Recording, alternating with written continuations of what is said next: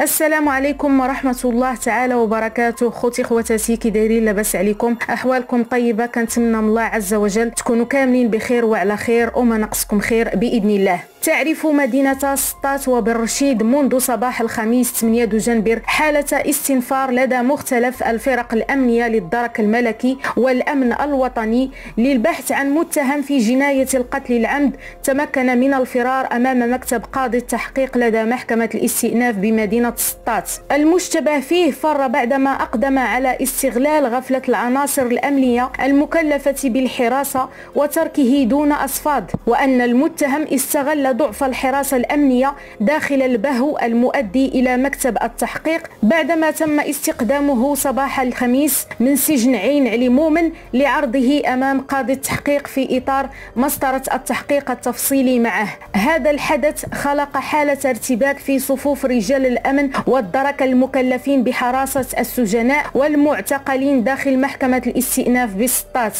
ورغم محاولة إيقافه من قبل رجال الأمن ومنعه من تجاوز حرم المحكمة إلا أنه تمكن من بلوغ الشارع الرئيسي والفرار نحو وجهة مجهولة. وكان الوكيل العام للملك قد تابع المتهم في حالة اعتقال بعد عرضه أمام النيابة العامة من طرف الدرك الملكي ببرشيد بتاريخ 21 من أكتوبر الماضي وإحالة ملفه على قاضي التحقيق بنفس المحكمة من أجل إجراء تحقيق تفصيلي في مواجهة المتهم بقتل ابن عمه بمنطقة الحساسنة ضواحي مدينة برشيد حيث جاء إيقاف المتهم بعد مضي أسبوع على ارتكابه جريمة القتل بإحدى نقاط التفتيش والمراقبة بمدخل مدينة برشيد بعد توقيف حافلة للمسافرين كانت قادمة من الدار البيضاء في اتجاه مدينة برشيد وبعد مراقبة هوية الركاب تبين أن أحدهم يشكل مذكرة بحث وطنية صادرة عن الدرك الملكي ببرشيد ليتم على الفور اقتياد الموقوف إلى مقر الأمن قبل تسليمه لمركز الدرك من أجل التحقيق معه حول المنسوب إليه. وقد أمر الوكيل العام للملك بفتح تحقيق حول ظروف ملابسات فرار المعتقل لتحديد المسؤولية وهو البحث الذي من المنتظر أن يتم الاستماع بخصوصه لعدد من عناصر الأمن المكلفين بحراسة السجناء داخل المحكمة. إذا أخوتي بخصوص مستجدات قضية السجين المسجل خطر واللي تمكن أنه يهرب من محكمة الاستئناف بسطات يوم الخميس الماضي. فللأسف دابا اليوم الثالث وباقي هذا السيد في حالة فرار. الخميس والجمعة والسبت ومازال ما تشدش. اذا غادي نعاود لكم القصة ديالته باختصار أن هذا الولد اللي تزاد سنة 1992 ديجا مدوز الحبس 10 سنين بسبب السرقة والاعتداء على شرطي. فمنين كمل العقوبة السجنية ديالو خرج آه يعني ودوز واحد المدة ديال شهرين برا الحبس وغير ارتكب جريمة أخرى. في واحد السيد اللي هو ابن العم ديالو من عائلته من دمه ومن لحمه. الضحية اللي سميتو كريم كيجي عنده هذا المتهم هذا وكيدق عليه في دارو وكيجي وكيفطر معاه كياكل معاه كيمشي عند معاه للسوق كيمشيو يجلسوا مع بعضياتهم في القهوة. ضاحكين ناشطين لاعبين عادي جدا حتى النهار اللي غادي توقع فيه الجريمة. كانوا جالسين بجوجهم المتهم والضحية في القهوة ويوقع بيناتهم واحد المشكل بسيط جدا. تافه ما كاين لاش توقع عليه. الجريمة تخاصموا في القهوة الضحية غادي يخلي المتهم في القهوة وغادي يمشي عند الحلاق باش يحسن شعره. فالضحية جالس كيحسن شعره دخل عنده المتهم وهو يعنقو وقال ليه اسمح لي غير باش يطمئنوا لأن الضحية واحد الولد اللي هو صحيح وبإمكانه أنه يبدي المقاومة.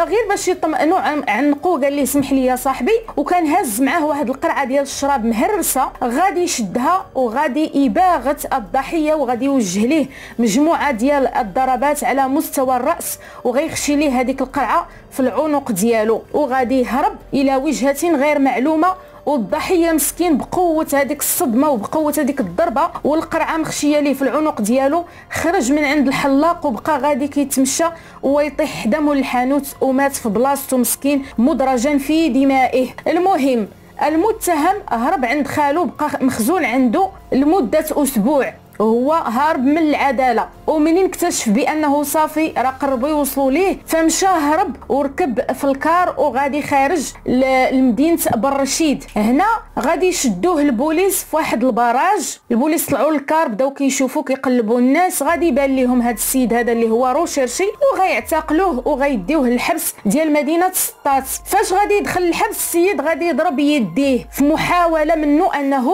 يهرب من الحبس. فمنين ضرب يديه؟ داوه للمستشفى. من أجل تلقي العلاجات وغادي يحاول بالفعل الفرار. ولكن هذيك المحاولة ديالته باءت بالفشل. ولكن للأسف من بعد ما دوز شهرين في الحبس كانت عنده جلسة ثانية نهار الخميس مع قاضي التحقيق. راه يلاه الجلسة الثانية هذه اللي كان غادي يحضر فيها الأب والأم ديال الضحية.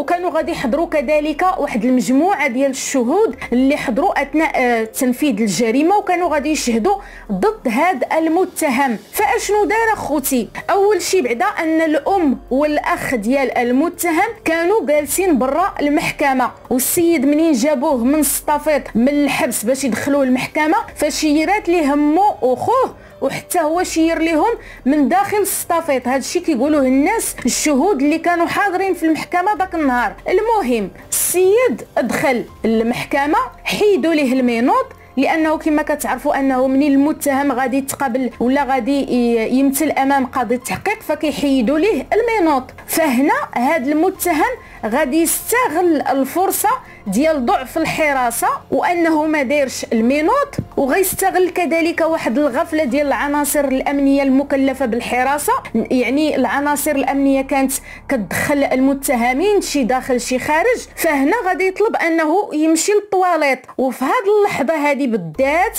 هي فاش غيستغل الغفلة ديال العناصر الأمنية وغادي يخرج من الباب الخلفي ديال المحكمة. كان لابس تريكو كحل ديال الصوفة وكان لابس جاكيطة زرقاء وصنداله في رجليه. السيد شنو غادي يدير؟ غيمشي من مورا السطافيط وغادي يحيد التريكو وغيحيد الجاكيطة والصندالة ديالو غادي يحيدها ويخشيها في يديه وغينقز الحيط وغادي يهرب. وفي ديك اللقطة فاش هو هارب فالعيالات داخل المحكمة بداو كيغوتوا راه مسجون هرب راه مسجون هرب. يعني ناضت الفوضى وهنا رجال ولا عناصر الأمن ما صدقوش أن هذا السيد هرب. فكيقول لهم راه ما يمكنش راه مستحيل يهرب شي واحد. العيالات كيغوتوا كيقولوا لهم لا راه شفناه هارب. وشافوا أن الأم والأخ ديالو شيروا ليه منين شافوه هارب. وفي ديك الوقيتة اللي شيروا ليه غبر لهم الآثار ما بقاوش بانوا أمام المحكمة. كيف ما حتى السجين اللي هو هارب غبر وما بقاش بان ليه الآثار. الشيء اللي كيرجح أنهم تلاقاو معاه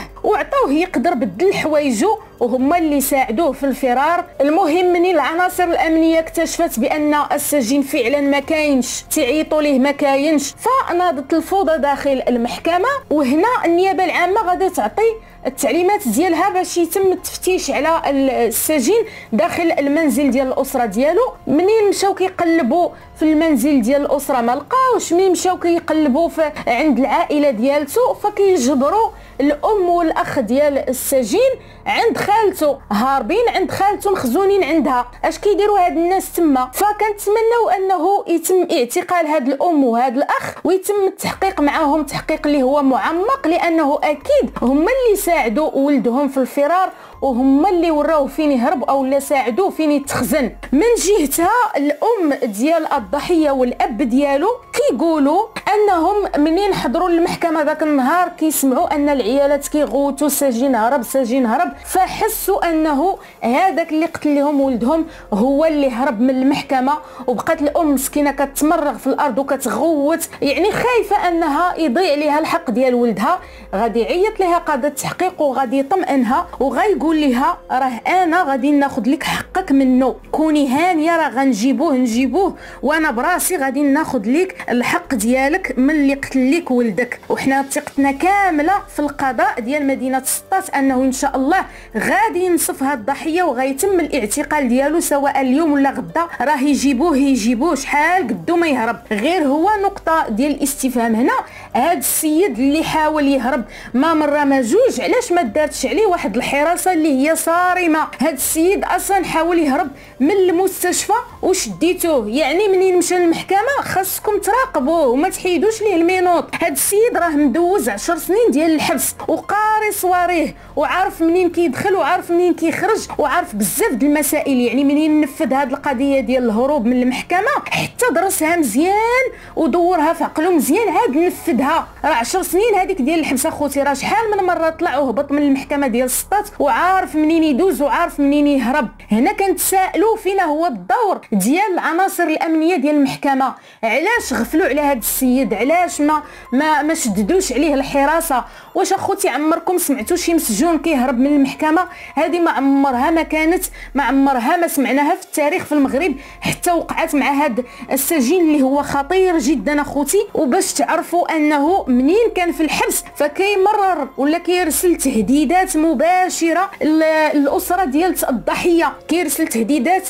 لوالديه وكيرسل تهديدات كذلك لواحد بنت خالته بالقتل والتصفية الجسدية. قال لها راه غادي نخرج وغنصفيها لك علاش؟ أن هاد بنت خالته قالت ليه حشومه عليك داكشي اللي درتي لداك السيد وقتلتيه على والو. فقال لها غادي ننتقم منك على هاد الهضرة. وكذلك كيصيفط تهديدات لواحد السيد آخر كيقول ليه راه غادي نخرج وغنصفيها ليك. اذا هاد السيد اللي هارب من نهار الخميس وما عرفناش كين فين كاين راه ممكن يرتكب أي جريمة في أي وقت. راه لحدود الساعة راه كيهدد الأسرة ديال الضحية وكيهدد بنت خالته وكيهدد واحد الشخص آخر أنه غادي يجي لهم وغيقتلهم. وهاد الأسرة ديال الضحية اليوم راه متشردين. ما رجعوش للدوار وما رجعوش لدارهم. خايفين اللي يجي عندهم ويصفيها لهم وينفذ هذوك التهديدات ديالو. وهذا الشيء اللي كنتمناو من رجال الأمن والعناصر الأمنية ديال مدينة سطات أنهم يطوقوا هذه المدينة وأنهم يبحثوا مزيان حتى يعتقلوا هذا السيد قبل ما يرتكب شي جريمة أخرى. من جهتهم الأسرة ديال هذا السجين اللي هو هارب ولا القاتل تخيلوا معايا أنهم كيمشيو عند العائلة ديال الضحية وكيضحكوا عليهم وكيقولوا لهم أش صورتوا دابا؟ ما عندكم ما تصوروا ما عندكم ما تستافدوا. يعني ولدنا هارب وصافي وحقكم راه ما عمركم تاخذوا ولدكم راه صافي راه مشى للقبر. كيضحكوا ليهم في وجههم وكيستفزوهم وكيقول لهم ما عندكم ما تصوروا. وتخيلوا معايا شنو داروا آخر. قبل ما يهرب هذا المسجون هذا فكانوا كيمشيو عند المحامي ديال الأسرة ديال الضحيه وكيحاولوا أنه يغريوه بالفلوس باش يدخل بخيط ابيض ما بينه وما بين الأسرة ديال الضحيه يعني باش يتنازلوا. كيطلبوا فيهم يتنازلوا على الحق ديال ولدهم. وكيطلبوا في المحامي أنه يوقف معاهم باش ما ياخذش الحق ديال هذا آه، الشهيد مسكين ولا الضحية كريم. باش تشوفوا هاد الناس هادو حتى فين وصلت بهم الوقاحة وحتى فين وصل آه، بهم الإجرام. يعني هذا المجرم اللي هو اليوم هارب راه الإجرام ديالو ما جاش من فراغ لأنه أصلا خارج من أسرة اللي هي مجرمة أسرة اللي ما رباتوش وما قراتوش وما علماتوش. يعني ماشي غريب أنه يكبر هذا الولد هذا مجرم بالفطرة لأن أصلا والديه مجرمين. ولدهم قاتل الروح ومازال كيدافعوا عليه وكيمشيو عند الضحية وكيقولوا لهم راه ما عندكم ما تصوروا وكيمشيو عند المحامي ديالهم وكيقولوا ليه وقف معانا باش هاد الناس يتنازلوا لولدنا. راه هذاك السيد راه روح هذيك اللي ماتت راه ماشي دبانة. هذاك السيد راه قتل بشر قتل بشر على والو. ما داريه والو أخوتي قتلوا غير هكاك لله في سبيل الله. وهاد الناس مساكن اليوم عائلة الضحية راه متشردين. وهججهم من الدوار ديالهم وهججهم من دارهم بأي وجه حق أخوتي. فحسبي الله ونعم الوكيل. كنتمناو يا ربي يوقف مع العناصر الأمنية ديال مدينة سطات وانهم يتمكنوا من الاعتقال ديال هذا السيد اليوم قبل غدا. أخوتي قبل ما توقع شي كارثة. المهم هادو هما المستجدات أخوتي. خليتكم على خير. تهلاو ليا فراسكم بزاف. مع السلامة.